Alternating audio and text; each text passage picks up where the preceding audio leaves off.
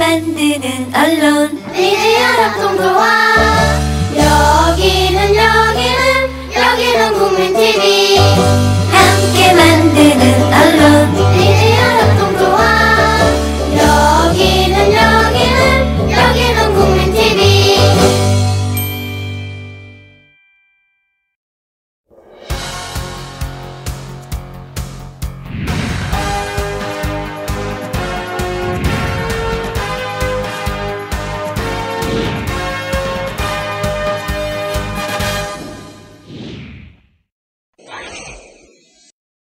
안녕하십니까 정치시사 블로거 IM 피터 임명도입니다. 참 오랜만에 인사드립니다. 지난 7월 3회 방송을 한 후 무려 3개월 동안 여러분을 찾아뵙지 못했습니다. 여러 가지 상황이 있었지만 어찌됐던 방송을 중단했던 점 먼저 사과드립니다. 방송을 쉬는 동안 참 많은 생각을 했습니다. 도대체 어떤 이야기를 어떻게 전달해야 더 많은 관심을 끌 수 있고 더 쉽게 시청자분들이 이해할 수 있을까 고민했습니다. 결론은 다양한 시도와 끊임없는 노력밖에 없었습니다. 열악한 환경과 한정된 인적 자원을 가지고 처음부터 완벽할 수는 없습니다. 그러나 포기하지 않고 열정과 노력을 계속한다면 언젠가는 많은 분들이 더 아이엠피터의 목소리에 귀를 기울이실 것이라 믿습니다. 더 아이엠피터 쉬는 동안 힘을 비축한 만큼 더 쉽고 더 재밌게 진실을 알려드리겠습니다. 더 아이엠피터 4회 시작하겠습니다.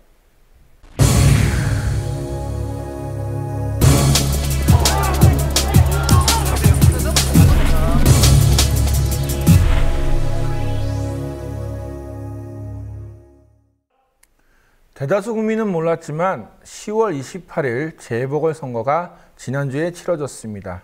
3.58%의 저조한 사전 투표율에서 보듯이 10월 28일 재보궐선거 투표율은 20.1%에 불과했습니다. 기초단체장, 광역의원, 기초의원 선거 등 총 24곳 중 새누리당은 기초단체장을 포함 총 15개 선거구에서 승리를 했습니다. 새정치연합은 인천 서구와 전남 한평 광역의원 선거구 두 곳에서만 승리를 했습니다. 부산 등 기초의원 7개 선거구에서는 새누리당 후보와 무소속 후보 7명이 당선됐습니다. 수도권에서 강세를 보였던 새정치연합이 이번 재보궐선거에서는 참패를 했습니다. 의정부, 광명시, 경기지역 광역의원 선거에서 새누리당은 전승을, 새정치연합은 전패를 했습니다. 국회의원 선거도 없었고 사람들 관심도 투표율도 저조한 재보궐선거가 그리 중요하냐고 말하는 사람도 있습니다. 하지만 이번 재보선 참패로 야당은 3연패의 늪에 빠졌습니다. 새정치연합은 2014년 730 재보선에서도 경기도 수원, 전남 당양, 광주 등 4곳의 선거구에서만 승리를 했습니다. 이에 반해 새누리당은 11석의 의석을 확보했습니다. 4.29 재보선에서도 새누리당은 서울, 관악을, 인천, 서구, 강하을, 경기 성남시 중원구 등 3명의 새누리당 후보가 모두 승리했습니다. 광주 서구을 천정배 후보가 무소속으로 당선되면서 새정치연합은 참패를 했습니다. 730 재보선, 429 재보선, 128 재보선까지 무려 3번의 재보선을 연속해서 패배했다는 사실은 단순히 재보궐 선거이기에 무시할 수 없는 수치입니다. 스포츠 경기에서 볼 수 있듯이 연패의 늪에 빠지면 헤어나오기가 힘듭니다. 특별한 계기가 없는 이상 야당의 재보선 패배 징크스는 오랫동안 갈 듯합니다. 재보궐 선거에 세 번이나 연속해서 패배했지만 새정치연합의 태도나 자세를 보면 심각하다고 생각하고 있지 않은 듯합니다. 오히려 대수롭지도 않은 일처럼 넘기고 있습니다. 재보궐선거에서 패배한 새정치연합이 선거 다음 날 어떤 선거 브리핑을 했는지 모두 찾아봤습니다. 730 재보선은 선거 규모가 커서인지 브리핑도 제법 깁니다. 그런데 429 재보선은 짧아지더니 10월 28일 재보선은 아예 서면 브리핑으로 대체했습니다. 브리핑 내용도 비슷합니다. 국민의 뜻을 겸허하게 받아들인다. 선거 결과가 박근혜 정부의 승리를 의미하는 것은 아니다. 앞으로 잘하겠다. 이 세 가지 문장은 항상 반복됐습니다. 도대체 국민의 뜻을 어떻게 받아들였는지 개선책도 없고 어떤 변화와 혁신이 있었는지 보이지도 않습니다. 새정치연합 대변인 수일은 자신들의 말이 언론을 통해 단 한 한 줄 나갈 것을 알고 있기에 대충 형식적인 말로 반복해서 선거 결과를 말했을 것입니다. 그러나 정당은 언론을 위해 존재하는 조직이 아니라 국민을 위해 뛰고 국민을 대상으로 일해야 하는 조직입니다. 참 무책임하고 성의가 없습니다.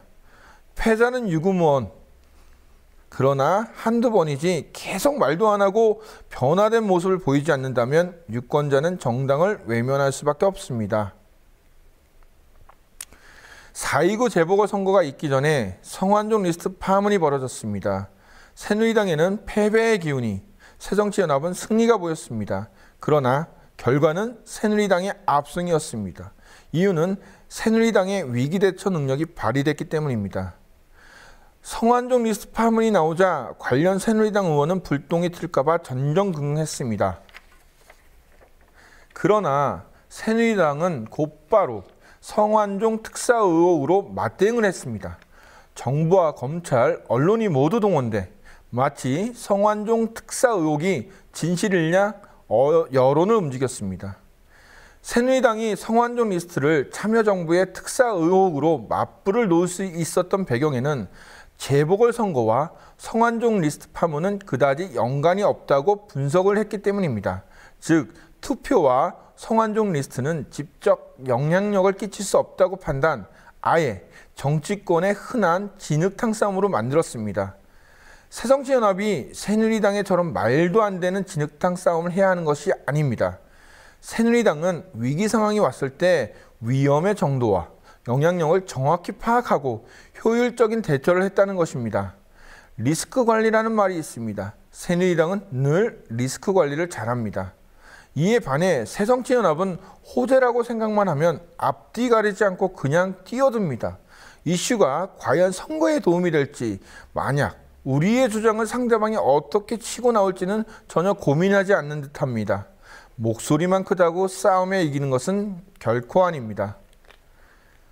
새누리당을 공부하며 할수록 혀를 내두릅니다. 그들이 선거에 이기는 방식은 그 누구도 생각하지 못할 정도로 뛰어나기 때문입니다. 마치 제갈공명의 묘수처럼 어떻게 이런 생각을 했지? 라고 할 정도로 톡톡 튑니다.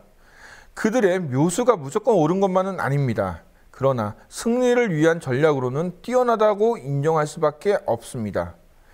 4.29 재보궐선거 때 새누리당은 새준마 우리 동네를 부탁해라는 슬로건을 내걸며 지역 일꾼론을 내세웠습니다. 새정치연합은 국민의 지갑을 지키겠습니다. 유능한 경제정당을 내세우며 경제심판론을 들고 나왔습니다. 결과는 새누리당의 승리였습니다. 새누리당의 특징 중의 하나는 선거 때는 가장 쉬운 대중적인 언어로 유권자를 공략한다는 점입니다. 새정치연합은 매번 심판론과 같은 정치적 언어로 유권자에게 다가갑니다. 젊은 유권자가 투표를 많이 하면 새정치연합의 정치적 언어는 효과를 보겠지만 재보궐선거에서는 힘을 발휘하기 어렵습니다. 정치적 효과와 홍보 효과는 전혀 다릅니다. 정치적 영향력은 국회에서 상임이나 정부에 대응할 때나 영향력이 발휘될 수 있지 일반 대중이나 유권자에게는 정치적 효과보다는 쉽고 간단한 홍보가 더 제격입니다. 재보궐선거 참패가 무조건 문재인 대표의 책임이라고 비난하기는 어렵습니다. 다른 인물이 새정치연합 지도부에 있을 때도 패배했기 때문입니다. 전패를 했지만 부산에서 점점 야권 지지율이 높아지고 있습니다. 희망도 있습니다. 정치적 언어로 폼을 잡는 새정치연합에 비해 허세는 떨어져도 대중적인 언어로 선거에 이기는 새누리당. 누가 옳고 그른가 보다 새정치연합이 야당으로 왜 대중적인 언어와 유권자의 핵심을 파고드는 공약을 내세우지 못하면서 위기 상황에서는 매번 새누리당에 끌려가는지 스스로 반성하고 생각을 해볼 필요는 있다고 봅니다.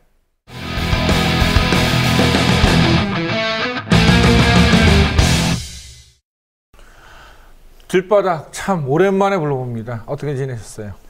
예, 뭐 잘 지냈습니다. 어? 똑같죠, 뭐. 어, 어저께도 길바닥을 헤매게 다니더니 아, 나 오늘은 어떤 길바닥 이야기를 또 갖고 오셨나요? 이게 요즘 한참 그 이슈가 되고 있는 역사교과서 국정화 문제 네. 이야기인데요. 어, 저희가 방송 나간 날짜가 모레인가요? 네. 예, 오늘 드디어 정부에서 확정 고시를 했습니다. 네, 오늘 화요일이죠. 예, 하고 이제 저는 이제 어제 그 새정치민주연합 의원들이 이 확정 고시를 일정을 땡겨서 하는 거에서 국회에서 농성을 돌입한 모습과 네. 그 시간에 그다음에 그 대학생들이 정부청사 앞에서 어, 그 농성하는 모습 그 두 가지 그 영상을 좀 가져 나왔습니다. 예, 그러면 일단 먼저 영상 보면서 우리 얘기를 하시죠. 아시겠지만 오늘 11월 2일 자정까지는 한국사 교과서 국정화 관련 찬반 여론을 듣는 예고 기간입니다. 참으로 소통이 안 되는 불통 정권입니다. 참으로 일방적이고 독선적인 정권입니다. 역사 국정 교과서를 반대하는 여론이 찬성하는 여론보다 월등 높다는 것이 확인되었습니다. 민심 외면 절차 무시 국정화 고시 즉각 철회하라 이 소식이 국민들한테 전달되고요. 약간의 조금 그좀이 지금 이렇게 국회 앞에서 저 안에서 농성하는 부분에 대해서 국민들이 진정성이 좀 부족해 보이지 않느냐 하려면 밖에 나와서 해야 되지 않느냐. 그렇게 뭐 요구하지 마시고 네. 있는 그대로 봐주세요. 예. 예. 그러니까 왜 국회 안에서 하느냐 하려면 정부 청사냐. 예. 이건 좀 그런 의견들이 지금 올라오고 있는데요. 그런 부분에서 좀 한 말씀만 해주시죠. 됐습니다.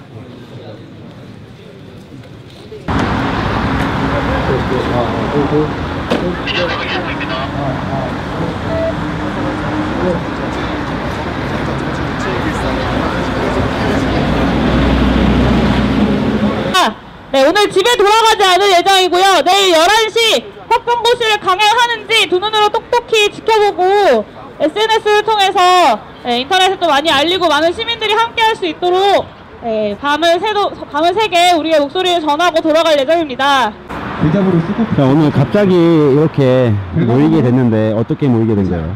아, 사실 확정고시라는 게 며칠 더 시간이 있는 걸로 알고 있었어요. 근데 오늘 낮에 언론 통해서 확정고시가 갑자기 내일 오전으로 땡겨졌다는 얘기 들었고, 그래서 왜 땡기냐라고 물어봤을 때, 그 이유도 알려주지 않고 그냥 내일 얘기하겠다 확정고시 하면서 라고 얘기하는 걸 보고 굉장히 좀 황당했고요. 근데 사실은 박근혜 정부가 2012년에 당선된 이후에 한 번도 뭔가 양보해 본 적이 없다고 저는 생각하는데 그래서 사실 처음에 국정화 문제를 바라보면서도 좀 그럴 거라고 생각했거든요. 근데 뭐 힘이 없고 권력이 없어서 결국에 막아내지 못할지라도 좀 역사에 그렇게 물 흐르듯이 반대 없이 국정화가 통과되었다, 추진되었다라는 라고 쓰이는 것보다 누군가는 반대하고 누군가는 밤새도록 거기에 저항했다라는 걸 좀 남기고 싶어가지고 급하게 좀 모이게 되었습니다. 그 야당 정치인들이 국회에서 그 마찬가지로 반전 농성에 들어갔어요. 그 학생들은 지금 정부처에서 이 추운데 밖에 나와 있는데 아, 우리 정치인들한테 우리 한마디 하고 싶은 거 있습니다.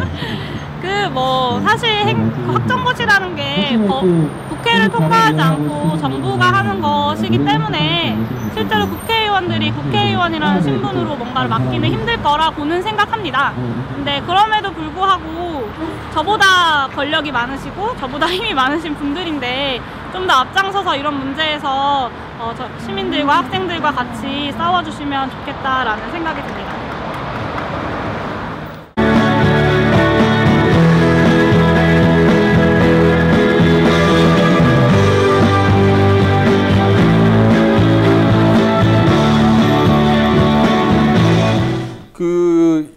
영상에 보면은 이제 뭐 야당 국회의원들이 이제 11월 2일 자정을 이 이제 행정 예고 의견 제출 받는 시간이 이제 마지막이라서 이제 국회에서 야당 의원들 지금 이제 농성을 벌이고 있는 모습인데 그 페이스북에 올렸었 어떤 글이 있었어요. 제가 봤거든요.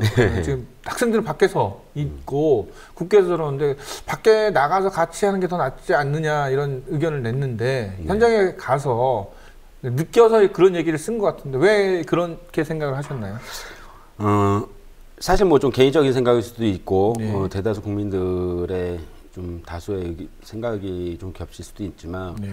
제가 좀 수, 봤을 때 뭐 많이 했어요 새정치연합이 선전전을 하기 위해서 장애투쟁이라는 뭐 이야기를 들으면서 피켓전도 하고 서명전도 하고 하는 모습을 많이 봤었지만 사실상 그 제가 직- 쭉 지켜봐 오면서 과연 지금 저 야당 정치인들이 저렇게 하는 것들이 과연 국민들한테 스며드는지 그다음에 효과가 있는지. 예, 호응을 받고 있는지 이런 부분에 조금 의- 의심이 들었거든요. 네. 그래서 조금 어떤 제가 페이스북에 글을 올리고 난 다음에 대다수 의견들이 이 밖으로 나와서 하지 왜 국회 안에서 하느냐. 네. 그래서 제가 문재인 대표한테 그 부분을 한번 물어봤거든요. 음, 질문까지 던져봤거든요. 예, 예. 좀 밖에 나가서 하는 부분이 더 국민들하고 호흡이 맞지 않겠나. 음. 라는 질문을 좀 줬는데 뭐 어, 워낙에 조금 불쾌한 질문일 수도 있고 민감한 질문일 수도 있어서 그런지 어, 그렇게 시원한 답변을 듣지 못했어요. 뭐 있는 그대로의 모습으로 봐달라라는 짧은 답변만 받아 받았죠. 저도 이제 아쉬운 게 이제 보통 이제 한쪽으로 그 올인하는 것보다 투 트랙으로 해서 한쪽은 정말 나가서 어 정말 그 예전에 한나라당이 사학법 투쟁처럼 극렬하게 나가든지 아니면은 뭔가 계속 조율을 해서 행정 예고의 그 확정고시를 좀 늦출 수 있는 어떤 행정적인 절차를 계속 밟든지 이 두 가지 트랙으로 좀 나가지 나갔어야 된다고 저는 생각을 하는데 지금 국회는 언제까지 하겠다고 지금 하고 있나요 새정치연합은? 아, 오늘 사, 오늘 3일인가요? 예, 네, 오늘 11월 3일 아마 11시 반에 국회에서 총 규탄 대회를 하는 것으로 해서 네. 뭐 이후에 이제 어떤 투쟁을 전개해 갈지는 뭐 아직 뭐 일정이 나오진 않았지만은 어, 일단 사실상 국회 농성은 오늘까지 하는 걸로 제가 알고 있고요. 지금 어저께 밤에 그럼 학생들이 이제 밤새워 농성하는 모습도 직접 같이 뭐 밤을 네. 샜을 것 같은데 요새 날씨 너무 춥잖아요. 그, 아, 네. 그 학- 젊은 학생들이 많이 있던데 아뭐 감기나 안 걸렸을까 막 되게 걱정이 좀 많이 됐었거든요. 저는 어떻게 곁에서 보니까는 하, 어떠셨나요? 그러니까 사실상 이 학생들도 뭐 어떤 준비된 그 집회가 아니라 음. 어, 지금 이제 화면에 보시면은 지금 인터뷰에 나오는 영상이 이제 그 경희대 정치외교학과 4학년에 재학 중인 용혜인 학생입니다. 네. 세월호 작년 세월호 참사 때뭐 가만히 있어라 예, 행동하던 친구인데 이 친구가 얘기가 그 밥을 저녁을 먹으면서 가만히 더 이걸 그냥 지켜보고 있어야 되는지 그냥 뭐라도 해야 되지 않겠냐라는 생각이 들어서 급 갑자기 자기들도 결정이 된 거래요. 그래서 SNS에 글을 올리면서 동참을 이제 호소를 해서 갑자기 이제 어, 모이게 된 적이라서 아무런 준비가 되어 있지가 않았던 겁니다. 그러니까 보통 이제 뭐 노조나 어떤 파업이나 이제 큰 그 사회단체에서 하는 집회인 경우에는 뭔가 뭐 밤샘 농성을 한다 그러면 다 준비를 했는데 제가 화면 보아도 정말 그냥 잠바 이렇게만 걸치고 뭐 어- 어디 편의점에서 사온 것 같은 그런 느낌이 들었는데 그 지금 이제 우리가 국정화 때문에 이게 여러 가지 그 거리 시위도 하고 투쟁도 하고요. 야, 그 새정치 연합도 지금 밖으로 나와 있는데 그 길바닥이 볼 때 어떤 면에서 좀 더 야당이 좀 나가야 된다고 좀 보고 계십니까?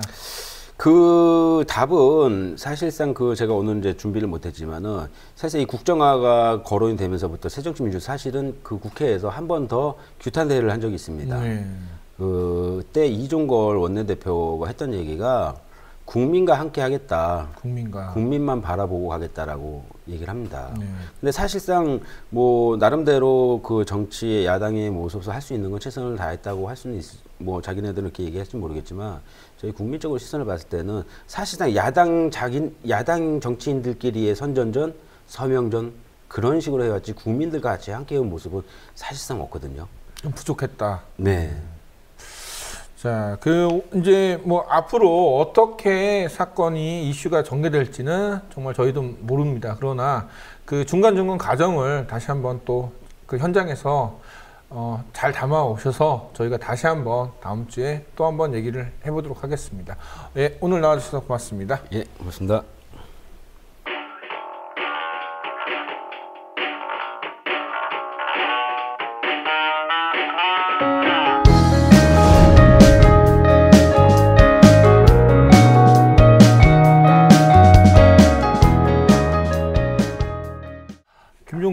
정말 오랜만입니다. 한 3개월 걸렸죠? 오랜만에 뵙습니다. 예, 어떻게 지냈어요? 아유 보시다시피 상당히 바쁘게 지내고 있습니다. 음, 뭐 직제도 좀 바뀌었죠? 예, 심 제작국으로 직제가 바뀌어가지고 현재 프로그램 세 개를 연출하고 있습니다. 어, 다작 PD. 거의 뭐 이렇게 땀이. 네. 어떤 어떤 프로그램을 하고 있는 거예요? 지금? 일단은 더 아이엠 피터, 우리 어, 피터 네. 선배 예, 함께 동참해 주셔가지고 다시 이제 시작하고 있고 예. 그리고 이런 꽃 같은 청춘 본격 꼰대 저격 방송 그리고 책 프로 제 개인적인 욕심이 좀 커서 합정동 독서클럽 하고 다 있습니다. 재밌는 것만 하네. 어. 자, 이제 이번부터 우리 네. 김종 기자가 색다르게 지금 밖에 나가서 이제 취재를 하는데 네. 뭐 이, 게 지금 뭔가 이게 셀카봉? 일단은 우리 피터 선배랑 프로그램 들어가기 전에 저도 이제 음. 물론 PD 겸 기자를 겸하고 있지만 네. 어, 기자로서의 욕심이 너무 강해요. 어. 그러다 보니까 현장에 대한 욕심, 특히 세월호 취재에 대해서 그렇죠. 제가 놓고 있다는 게 너무 마음이 불편했어요. 네. 그러다 보니까 사전에 준비를 할 때 우리 피터 선배랑 내가 현장성을 더 강조할 수 있는 게 무엇인가, 내 무기가 음. 무엇인가. 그래서 셀카본과 이 핸디캠, 어, 오직 현장성을 강조한 인터뷰. 음, 지금 해외 언론에서는 일부에서는 어, 그 제작비를 좀 줄이기 위해서 네. 기자 혼자 나가서 네. 이 셀카봉 들고 이제 하잖아요. 그러니까 네. 이걸 직접 하는 거네 이제 아, 김종. 기자가. 네.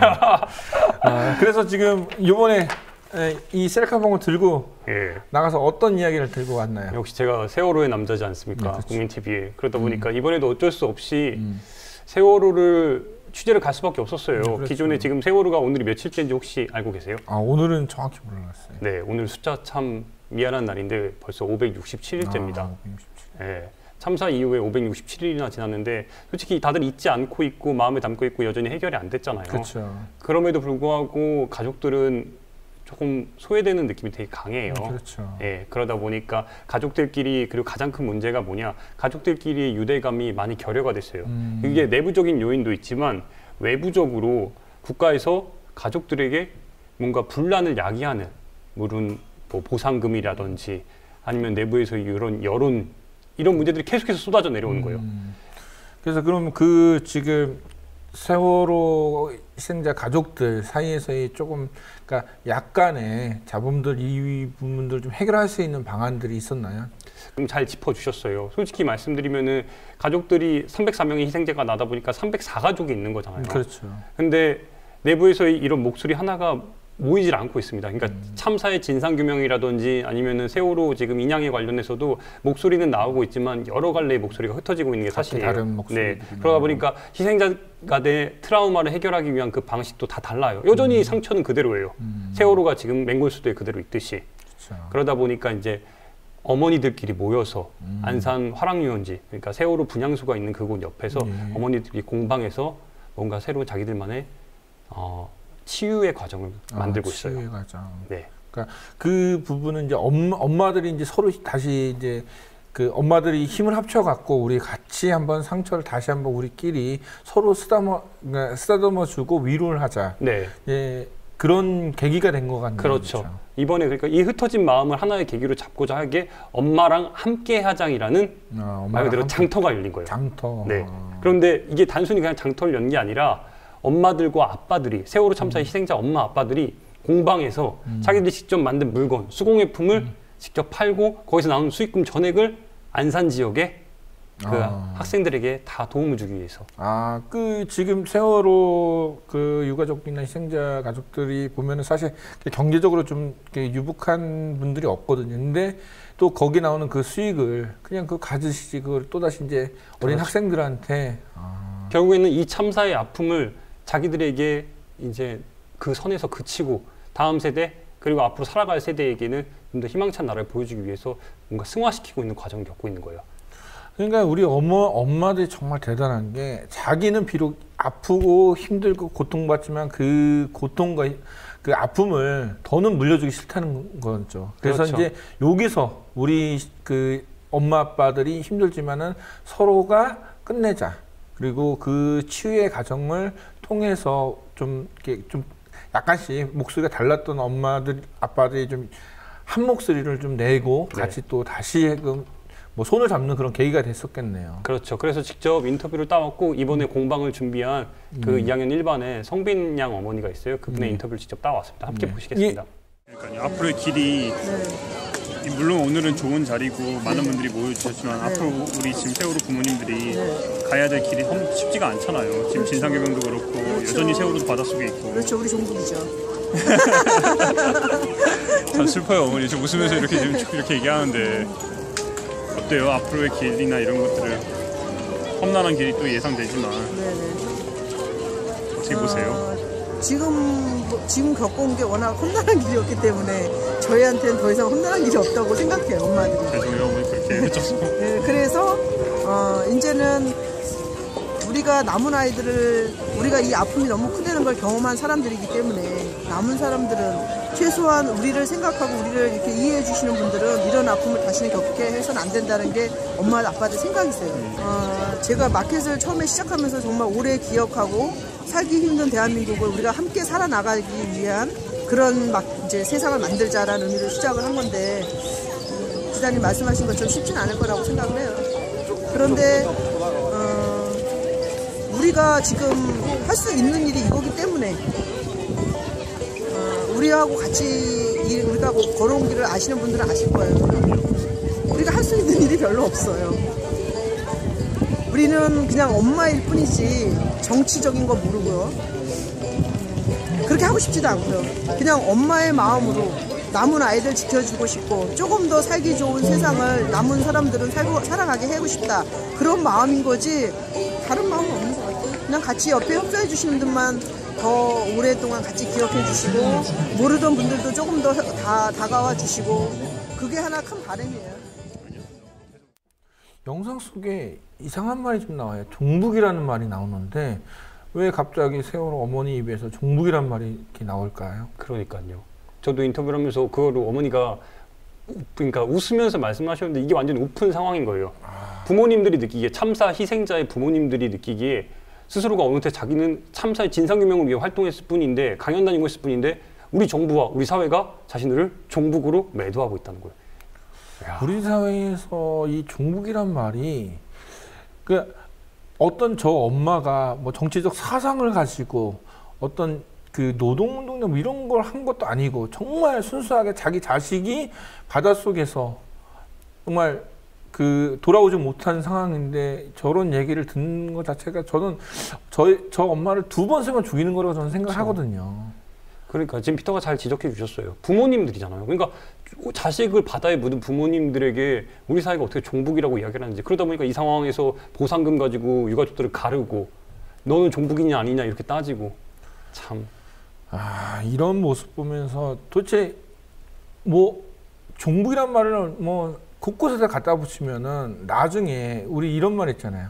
정말 먼 산 보듯이 남의 불행을 봤을 때 정말 자기한테 그 불행이 다가왔을 때 그 누구도 도와주지 않는다는 사실을 이 여- 여러 사람들이 지금 모르고 있는 것 같아요. 그래서, 그래서 예, 그래서 지금 잘 말씀해 주셨듯이 이 어머니들의 활동 그리고 세월호를 잊지 않은 전국에서의 그 우리 시민들이 있잖아요. 우리 피터도 마찬가지고 저도 그렇고 게- 계속 저는 멈추지 않는다고 생각해요. 앞으로 그 제가 셀카본과 핸디캠을 들고 다니면서 세월호 관련된 소식들을 중심으로 해서 네. 앞으로 이 시간에 더 알찬 소식, 현장성 강한 거 전해드리겠습니다. 그 근데 마지막으로 나 이 고장난 거 이게 뭐야 이게 이런 거아좀새거 좀 하나 어, 내 내가 현장성을 강조하다 보니 그러니까 하나 나중에 어, 저기 새 거 하나 어떻게 인터넷으로 어, 어, 주문해 줄게요 정말 그래도 마이크까지 구입했습니다. 아, 저 그 세월호 현장 이제 사람들이 많이 잊고 있고 저 또한 정말 생각만 하지 그분들이 어떻게 사는지 잘 모르고 있는데 우리 어떤 언론들이 다 잊고 있어도 우리만은 잊지 않도록 어, 언제나 이 비, 비록 부족한 이런 장비지만은 들고 가서 항상 그분들과 함께 했으면 좋겠습니다. 네. 오늘 나와주셔서 고맙습니다. 고맙습니다, 피터.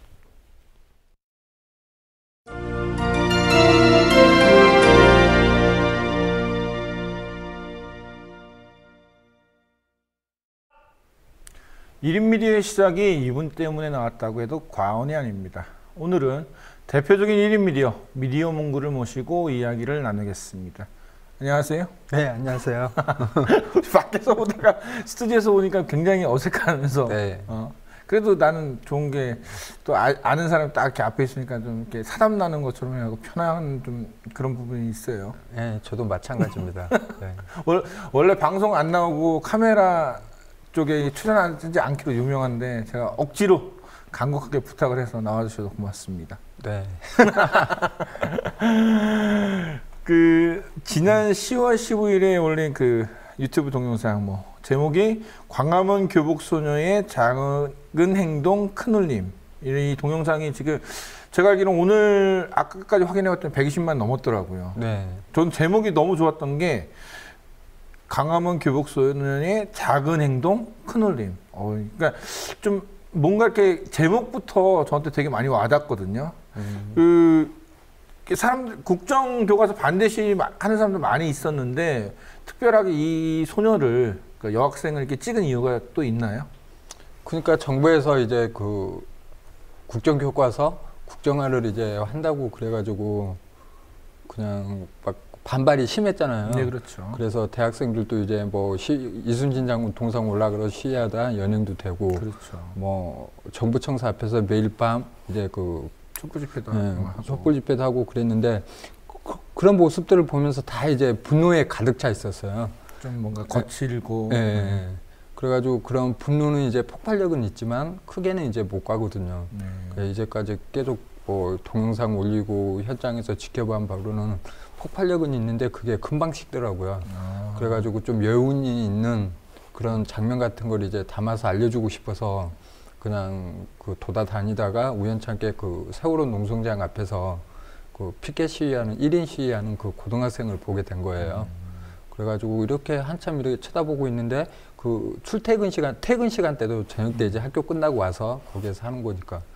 그래가지고 학생, 학생을 딱 지켜보는데 시민들이 그냥 지나치는 거예요. 그럼에도 네. 불구하고 혼자서 피켓 들고 이렇게 서 있는 모습을 보면서 그걸 한번 찍어서 보여주겠다 이렇게 했는데 그 제목을 그렇게 또 단 이유가 울림은 크게 울릴 줄 알았어요. 근데 그 학생에게도 뭐 차- 그 제목이 그냥 작은 행동이었지만 그 앞에 나서기까지 너무 큰 행동을 하게 된 거죠. 근데 그 제목에 그 맞추려고 작은 행동 큰 울림이라고 그렇게 적게 된 겁니다. 그, 그럼 뭐 일단 우리 영상 한번 보고. 어, 더 얘기를 나눠보도록 하겠습니다.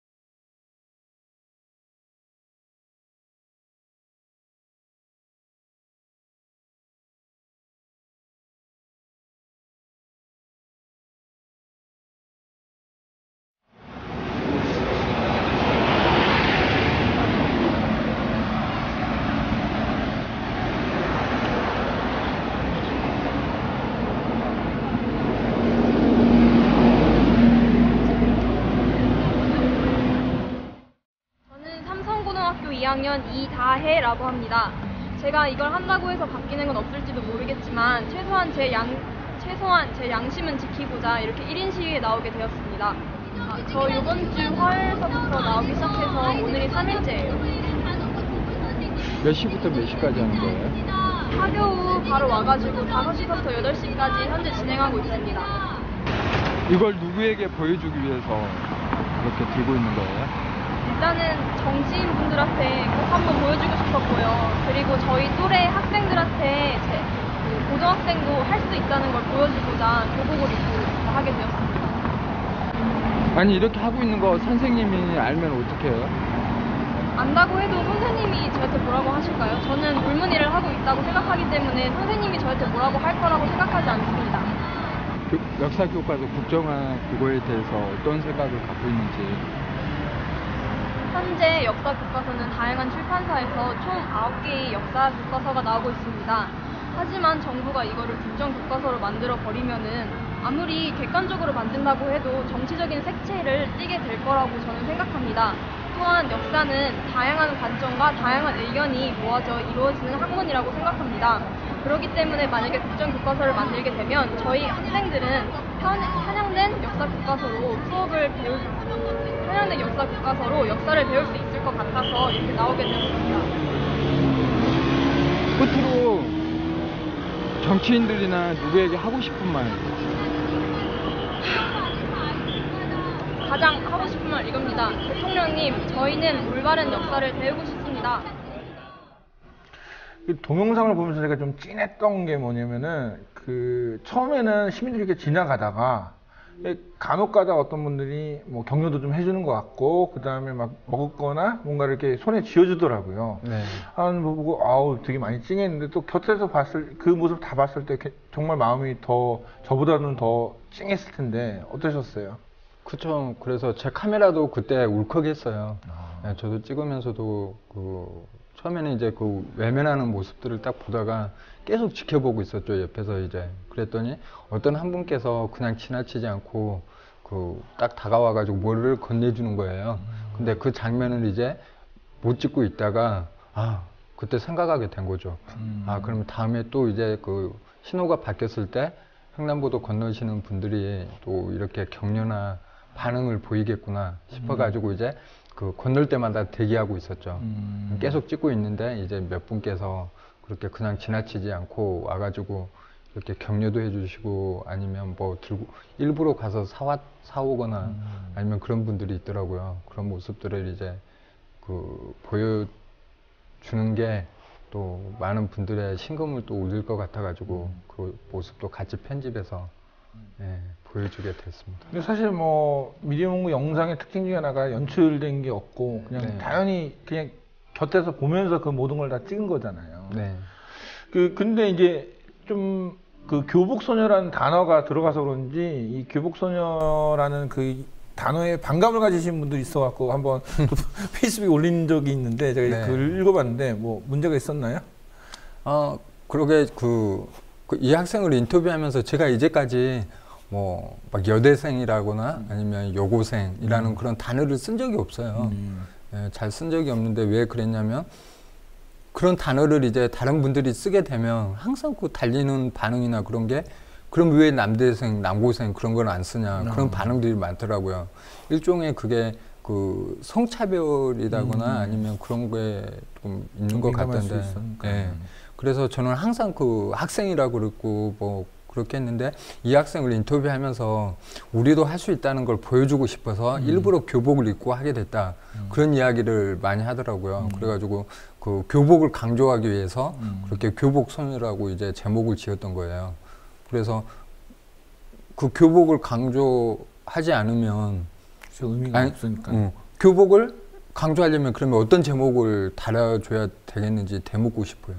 그렇죠. 네. 그러니까 아, 교복을 입고 있는 학생인데 뭐 교복 학생 이것보다는 뭐 교복 소녀 단 절- 소녀자니까 맞아요. 절대 뭐 비하하려고 한다거나 아니면 뭐 성차별하려고 한다거나 그런 거 우리는 절대 없었거든요. 그렇죠. 근데 너무 민감하게 반응하시는 분들이 있어가지고 좀 속상하긴 했죠.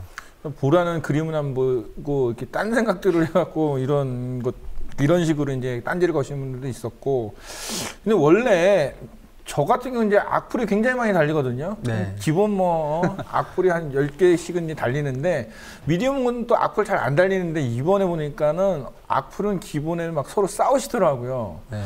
이 그거 보면서 되게 좀 깜짝 놀라셨을 것 같은데 음, 제 영상은 주로 이제 뭐 분노나 그런 것보다는 이제 추구하는 게 공감이거든요. 네, 그렇죠. 공감 영상인데 이 교복 소녀라는 그 단어 때문에 일부 이제 의견 충돌이 있었나 봐요 네. 댓글에 그래가지고 그런 분들이 이제 그걸 지켜보면서 저도 이제 가슴이 아팠고 그리고 제가 이제 그 후기로 그렇게 쓴 이유가 그런 제가 의도하던 바를 그냥 제틴 이야기 왜 그러냐면 일부 몇 분께서 그렇게 이제 지적하셔가지고 그냥 넘어가도 될 일인데 그냥 그 혹시나 해서. 피터님 저 피터님이었으면 악플을 많이 받았으니까 그냥 넘어갔을 거예요. 그쵸. 근데 저는 그런 악플을 간만에 이제 받아가지고 예, 마음이 좀 아프더라고요. 그래서 음. 마음이 열려서 그래요. 예, 음. 좀 해명하고 싶어서 예, 그렇게 했더니 또 그 해명글에 대한 의견에서 제가 듣고 싶어 했던 그런 의견은 하나로 올라오지 않는 거예요. 예, 그래가지고 그게 좀 또 아쉬움도 있었죠. 그쵸, 그러니까- 저는 그렇게 지적하신 분들이 그, 그 해명글을 보고 어떤 반응, 어떤 의견을 주실까 그걸 기다리고 있었거든요. 근데 그런 의견 같은 게 올라오지 않아가지고 그거에 대한 또 아쉬움도 있었고 또 상처도 받으셨구나. 예, 제가 그- 원래 소심해서 아니 원래 그러니까 그 저희 그 더 IMPT에서 이런 그 코너를 자꾸 만들고 하는 게 사실 우리가 글을 쓰거나 영상을 보여주는 거 안에 또 의미가 있는데 그 의미들 또 왜곡해서 해석하신 분들이 또 많거든요. 네. 그러니까 그거에 대해서 뭔가 얘기를 하고 싶은, 싶은데 또 그 얘기를 가지고 또 아까 방금처럼 뭐 괜히 또 더 나쁜 경, 그 상황이 벌어질 수도 있고 근데 뭐 마음이 열어서 그래요. 나같이 좀 독한 사람들은 별로 그런 거에 상처를 안 받는데 혹시 그 동영상이 화제가 되고 난 다음에 이다혜 학생이랑 뭐 통화를 해보셨나요? 아니면 뭐 혹시나 이다혜 학생이 뭐 불이익을 받았거나 뭐 이러진 않았겠죠? 네, 그 영상 이제 올리고 나서 그때 이제 반응이 너무 뜨거워가지고 네. 이제 다음 날 이제 가서 만났었거든요. 어. 만났는데 이제 가장 저는 걱정됐던 게 그 담임 선생님이 알면 어떠, 그치, 어떻게. 할까. 예. 가장 그 걱정이 됐었는데 그 학생을 만나보니까 선생님이 그 영상을 봤다고 음. 그러더라고요. 그랬는데 이제 그 다른 이야기는 하지 않고 다혜 학생이 이야기했던 대로 그냥 그 자기 생각, 옳, 생각이 옳다고 했기 때문에 옳다고 생각했기 때문에 그렇게 행동한 걸 선생님이 문제 삼지 않고 이제 언제 어디서 그렇게 그 피켓 시위를 1인 시위를 하는지를 그냥 실시간으로 좀 알려달라. 음. 그냥 일종의 이제 걱정스러움에 그쵸, 선생님 입장에서는. 예, 그렇게 알려달라고 이야기했던가 봐요. 음. 그래가지고 그런 것도 있었고 그 또 이제 갔더니 그 전보다 그 전날보다 전날이나 뭐 전전날보다 막 시민들이 인터넷에서 교복선을 봤다고 그러면서 막그 뭐지 먹을 거를 이제 음. 일부러 사가지고 오신 분들도 있었고 음. 막 외신 기자까지 와가지고 음. 인터뷰 해가신 분들도 있었고 해가지고 다혜 학생이 또 말을 또박또박 잘하니까 네. 예, 그런 거에 이제 보는 저도 뿌듯했었고 예, 그래서 저는 영상 보면 그래서 그 다혜 학생의 그 1인 시위 영상이 고등학생들이 그렇게 1인 시위하고 고리로 나올 수 있게끔 하는 그런 촉발제의 역할을 한 것 같아요. 어. 예. 그래가지고 그러니까 그 이다혜 학생 보면서 이 말하는 게 우리가 항상 고등학생은 어리다.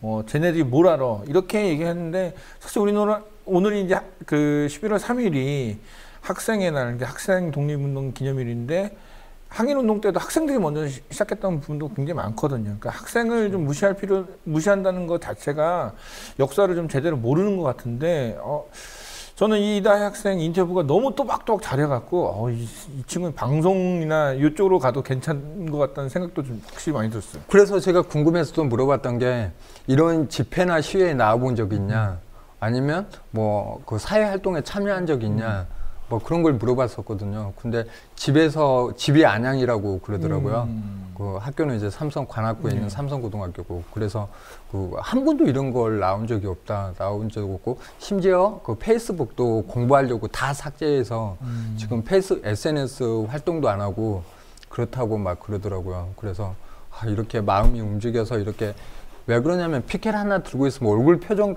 보면 진짜 그쵸. 수고하고 그 막 주변 시선 의식하는 그걸 이겨내려고 하는 그런 표정이 얼굴이 딱 그 써 있거든요. 그쵸. 예, 그런 용기를 내는 모습을 보면서 진짜 저도 촬영하면서 그냥 어디 자신감 있게 저분을 이제 인터뷰 만약 상대방이 만난 인터뷰해야 되는데 질문을 할까 말까 고민을 진짜 많이 하거든요.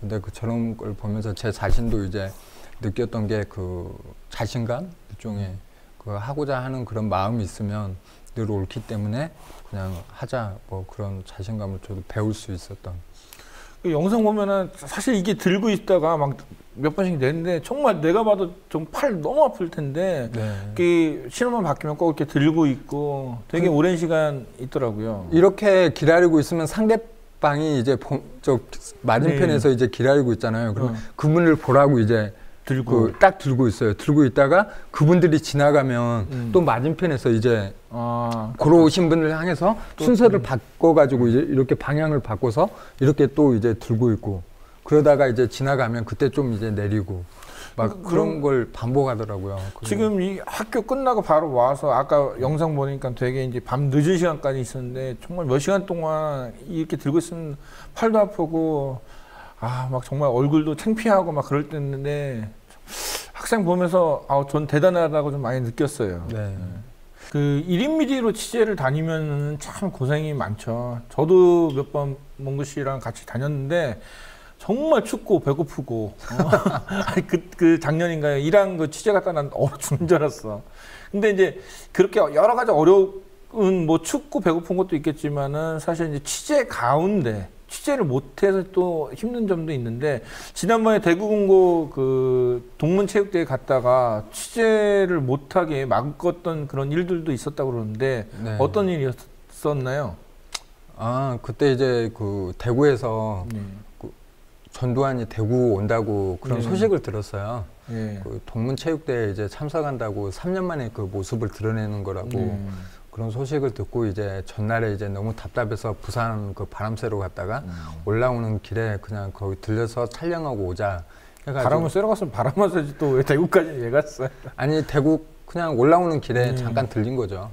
잠깐 들렸는데 그 처음에는 이제 촬영 못 할까봐 음. 그 그냥 크게 아 촬영 왜 그러냐면 막 그런 데는 이제 너무 폐쇄적이고 음, 그쵸. 막 그래가지고 이제 또 병원도 쉽게, 있으니까요. 예, 쉽게 촬영하기 힘들 걸 이제 예상하고 이렇게 간 건데 그 동문회에서 그냥 촬영을 허락해가지고 이제 음. 그렇게 뭐 알았다 해가지고 이제 기- 기다리고 있는데 그 어느 한 분께서 딱 와가지고 그 취재하려면 자기 허락을 받아야 된대요. 그뭐 그냥 관계자였던 거예요? 아 처음 처음에 저는 이제 동문회에서는 이렇게 촬영하라고 했는데 그냥 뭐지? 경호팀? 뭐 그- 예, 예, 저도 처음에 그런 줄 알았어요. 음. 그랬더니 그러면 아, 그 누구시냐고 딱 물어보니까 그 기자래요. 기자가 왜 기자한테 그래서 너무 황당해가지고 아니 기자가 왜 그렇게 더군다나 현직 기자가 음. 현직 기자가 왜 이렇게 촬영하는데 허락 받아야 되고 그런 걸 어, 자기 통제에 그렇게 어? 음, 뭘 하려고 하냐고 그렇게 지시를 하냐고 막 그 문제 제기를 이제 하게 된 거죠. 그것도 뭐 어? 지역 그 그 대구 지역 언론사 예, 기자가 언- 언론 기자가 아니라 중앙지 기자예요. 그것도. 중앙지인데 그 대구 지역 뭐 지사 예, 예, 지사에 있는 기자인데 그래가지고 막 어?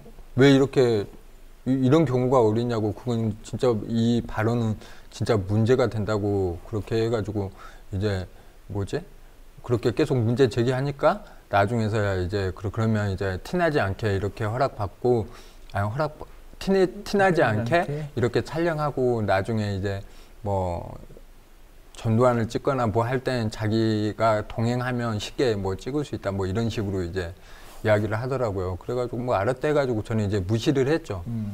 무시를 했는데 그것보다는 이제 그 현직 기자가 그렇게 받고 언론들을 통제하려고 하고 그 그러더라고요. 자기가 원래 자기는 뭐 해외여행 가, 그 영상이나 그다 녹취나 그런 게 있는데 자기는 원래 그 해외 여행을 가기로 했는데 동문 동문에서 자, 이번 체육대회 때 자기가 현직 기자니까 그 자기를 부탁을 본인한테 부탁을 했대요. 언론들이 오면 좀 잘 이렇게 이끌어줘가지고 자기가 그 문제 일으키지 않게끔 그렇게 조용히 이제 촬영하고 이제 가게끔 자기한테 부탁을 한 거라고 아니 그러더라고요. 뭐, 어, 뭐 밀치고 들어가서 뭐 세금 왜 내냐고 뭐 이런 이런 얘기 한 것도 아닌데 아니, 근데 아니 그런 얘기 했어요. 중간에 했죠. 네. 네, 아까 그 영상 보니까는 막 어, 경호원들 막 사이로 싹싹 하고 네. 가던데 그래가지고 그 막그 전두환 아무튼 기사화만 되면 막 비판 여론이 이제 그쵸. 일고 막 그러기 때문에 그 사람 잘못했으니까 그런 거지. 어, 그런 비판 여론 때문에 이제 그 기자를 불렀다고 막 그런 발언까지 다 하더라고요. 나중에 음.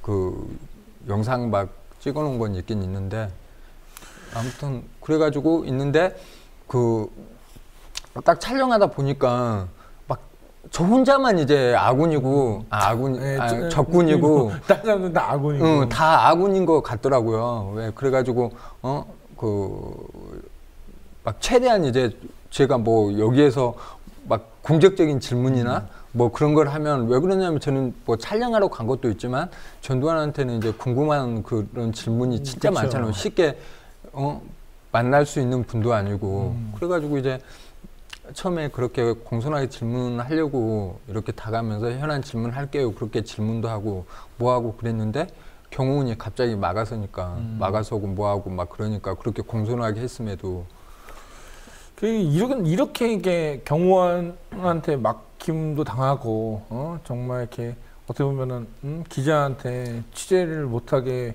어 좀 이렇게 막힘도 이렇게 여러 가지 이게 제약도 있으면서 이름 믿으러 계속 왜 현장을 다니는 이유가 뭐예요? 그러니까 아무래도 머리가 나빠서 손발이 고생하는 게 아닐까 그런 생각도 들긴 하는데 그냥 그 제가 이제 다음 달이면 활동한 지 10년 되거든요. 음, 10년 10년 차. 동안 이제 그 여러 가지 일을 많이 배- 했잖아요. 제 젊음의 모든 게 제 발이나 카메라에 있거든요. 그리고 홈피에 기록돼 있고 음. 그래서 그 젊었을 때 바쳤던 그런 열정 같은 걸 그 포기하지 포기하지 않기 위해서 계속 이제 현장에 나가는 거고 음. 그 찾아다니는 거고 그걸 꼭 알려야 될 현안이 있으면 그걸 꼭 이제 촬영해서 알리고 음. 예, 그러는 거죠. 10년.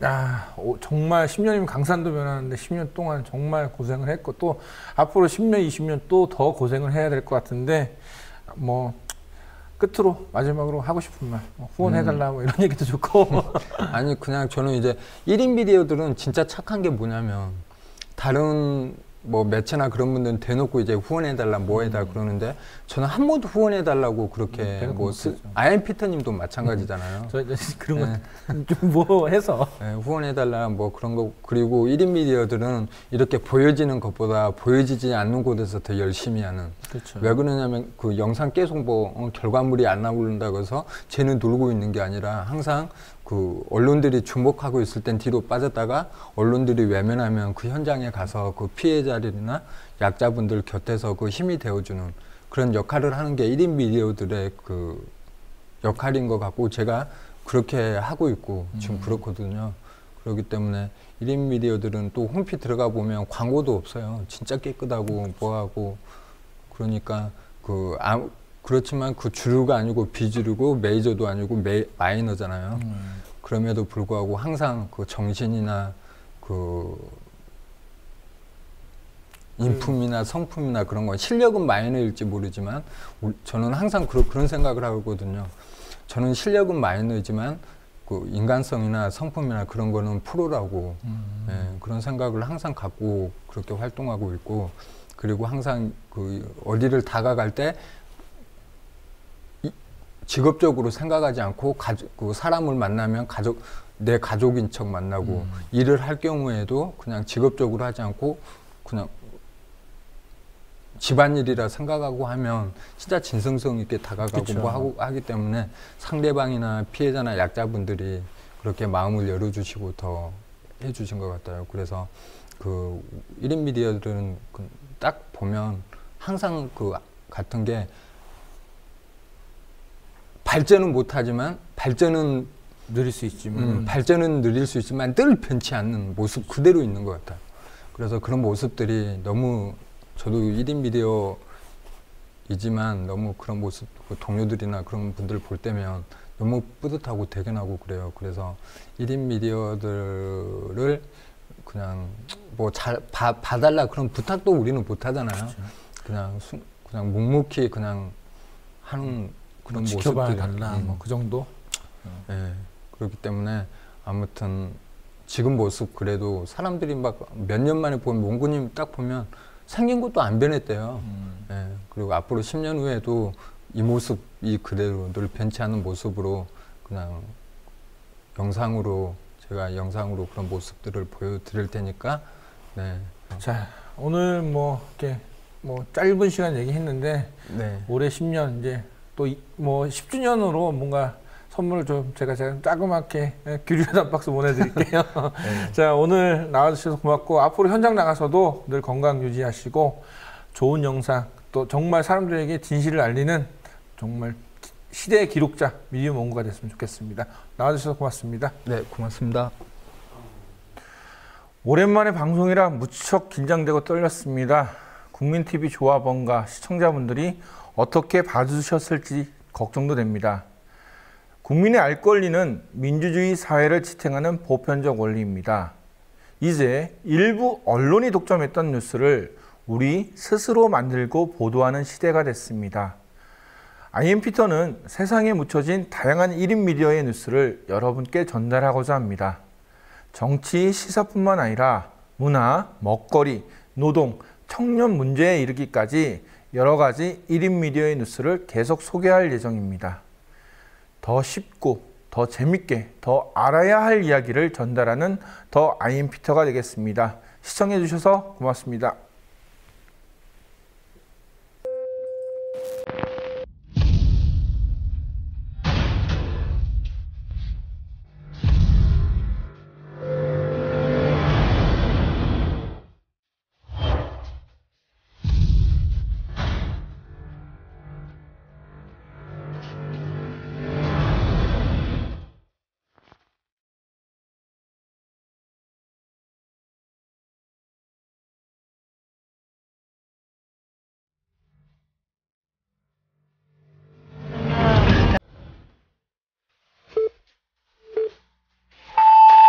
전두환 대통령 오늘 전두환 대통령은 오늘 전두환 대통령은 오늘 대통령은 오늘 민정당 창당 기념 박근혜 대통령의 박근혜 대통령이 네덜란드 박근혜 대통령이 오늘 네덜란드로 떠났습니다.